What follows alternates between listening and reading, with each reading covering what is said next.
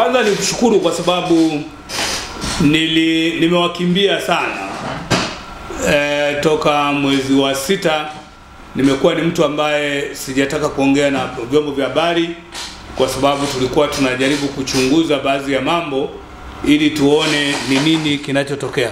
Uh, of course ni kwamba ni niwajulishe tu Watanzania kwamba kwanza Mbeya eh, mahala popote mimi nime experience mahala popote ambapo watu wanafikiri ni migogoro na mahala ambapo na migogoro yanayohusiana na siasa, tafsiri yake ni kwamba chama kipo lile eneo lipo, na mara nyingi ambako tumeona kumetulia, huwa mara nyingi chama hakipo, yaani kukitulia sana chama hakipo, na ndio maana katika kusovu migogoro hii huwa hatufukuzi hatufukuzi. Mago e, ukishafukuza e, pande hii ukafukuza na hii e, kesho kiita kikao hautakuta unaweza ukakuta umebaki wewe wale watu hawapo. Kwa hiyo tumejifunza sana. Lakini nachoweza kusema tu kwa wanachama na viongozi wenzangu kwamba ni kweli ilitokea na kuna baadhi ya viongozi walitoka hadharani kwamba wamenifukuza wanachama lakini tulisema mapema kwamba hakuna katiba ya namna hiyo. Ilikuwa ni namna tu tunataka tujue, ila tu kwa kifupi ni kwamba tunakwenda kwenye uchaguzi ndani ya chama, lakini tunakwenda uchaguzi serikali za mitaa. E, kuna watu wawili wanatusumbua sana kwenye safari zetu ya siasa, sio kwa Chadema tu e, ni, ni, ni, ni, ni, ni, ni mfumo ah, karibu karibu duniani, ni mchezo ambao huwa unafanya, na ndio maana ukisikia wanasema kwenye siasa kuna mchezo mchafu.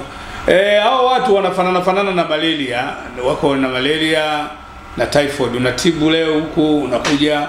Chadema imejaribu ku, ku, kuwini kwenye eneo moja kati ya haya.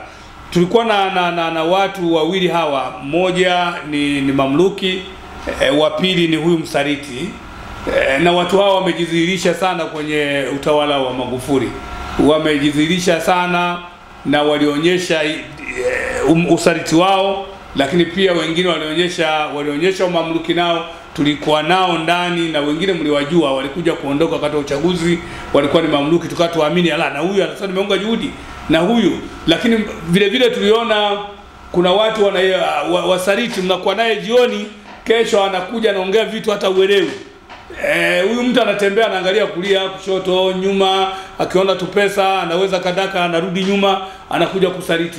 Yapo mambo mengi sana. Sasa Mbeya ni eneo ambalo limebeba hadhi ya kanda nzima kwa nyanda za juu chini, na ndio chama ambapo wanajua serikali na inajua kabisa kwamba unapozungumza siasa ya mageuzi Mbeya ipo. Kwa hiyo imetua na miguu yake yote pale, inaangalia mtu ambaye anakwenda mbele.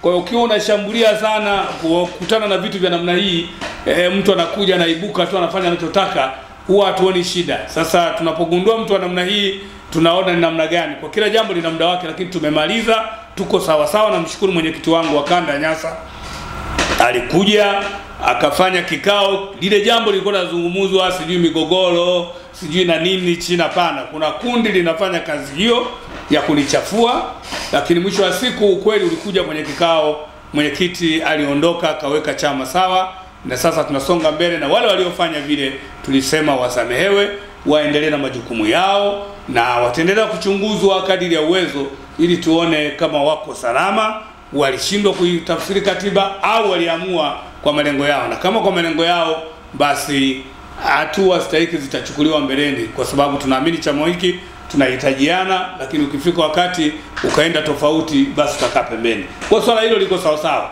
na mimi naendelea kuwaambia tu, mimi ni mwenyekiti wa mkoa na haya yaliyopita ni ya kawaida. Ningekuwa sifanyi kazi nisingeona. Niko hapa, ni mzoefu, nimejiunga na chama hiki eh, eh, ni muda mrefu sasa, toka elfu mbili na sita ni mkomavu. Nimeongoza mikoa miwili hii, nimezalisha mkoa Songwe na sasa ninao Mbeya. Kwa hiyo kwenye siasa nipo, kwa hiyo vitu vya kawaida, lakini tunajaribu kurudishana nyuma na kukaa sawa na kusonga mbele.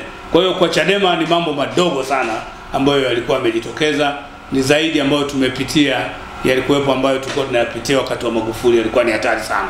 Kwa hiyo haya haya hayawezi kutikisa chama haya yanaweza kutuimarisha na kukaa na kujua mwenzetu alikuwa anafikiria nini mpaka kafikia hapa. Kwa hiyo kwa kifupi ni hivyo ndugu yangu. Ukiukwaji wa katiba ulikuwa ni mkubwa, na ndio maana unaona bado ni mwenyekiti wa mkoa, pamoja na kutoka hadharani kwamba tumemfukuza mwenyekiti wa mkoa lakini kwa sababu katiba ilikiukwa, eh, haya mambo mengine ya kuonyana yako ndani. Unaweza ulionywa kwa, ku, kwa kupewa barua, kuna kufukuzwa, lakini kuna kuonywa kwa ndani. Kwa hiyo hili lilifanyika tu, ni maonyo ya ndani na kuweka matazamio ya kuona namna hilo tukio lilikuwa ni la maksudi au liliteleza kwa sababu ya kutokuelewa katiba vizuri. Kwa kwa kifupi imekaa hivyo ya na watu wajue kwamba tumefikia hatua hiyo na tumefanya tuko sawasawa. sawa.